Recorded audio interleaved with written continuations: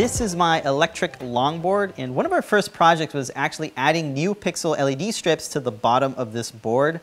I've been meaning to redo this project. This time we're gonna integrate the NeoPixel LEDs into 3D printed truck risers. Truck riser pads are basically pieces of plastic that go in between your skate trucks and your board. And this can help prevent wheel bite, especially since it elevates the board from the trucks. They're also really helpful when you're pushing and sliding, especially since it lowers your center of gravity. A lot of good reasons to use them, especially for longboards. So I've seen some LED truck risers on Amazon and eBay, but for this project, we're gonna use the Adafruit Feather Bluefruit. Having Bluetooth connected NeoPixel LEDs can be pretty useful because you can change the colors, set the brightness, and even trigger animations all through your smartphone. So the plan is to design and 3D print the enclosure and then put in the electronics. All the electronics are gonna be mounted with machine screws. That way it'll minimize the vibrations from all that writing. I'm also using standard mounting holes. This way it'll work on modern skate trucks, so hopefully the tolerances will all line up when this is 3D printed. So I went ahead and sliced the part, so now it's ready for some 3D printing.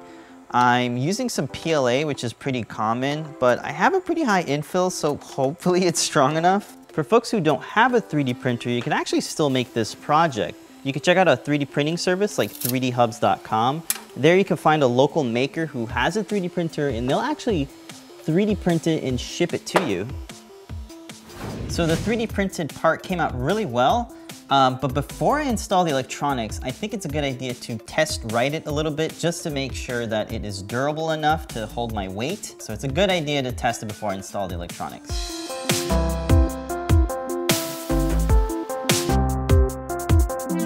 Okay, so I just finished installing the truck risers without the electronics. Of course, I had to use some longer hardware. So it's installed and let's go test it out and see if it's all good.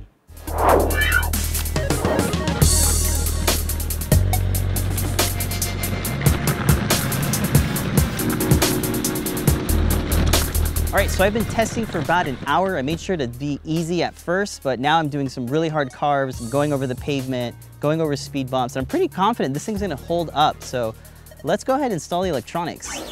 To wire all of the electronics together, we just need a couple of tools like a soldering iron and some wire cutters. I also like to use a PanaVise and third helping hands just because it makes things a lot easier when you're wiring them. I also like to use silicone coated wires just because it's really flexible and heat resistant, but you don't have to use this stuff. You can use whatever you have on hand. So for this project, I'm using the Adafruit Feather Bluefruit. This is an Arduino compatible microcontroller with a Bluetooth module. This high density NeoPixel stick will be the headlights. I'm gonna use a 500 milliamp LiPo battery for power and an on off switch. So I'm documenting this whole project and basically taking photos of each step. I'm gonna put all of this together in a learning guide so folks can actually follow along and build this project for themselves. There's not a whole lot of steps, so I think this is gonna be a pretty good project for people that are new to electronics and looking to get into the hobby. So with all of the wiring done, I can go ahead and install this back underneath the trucks.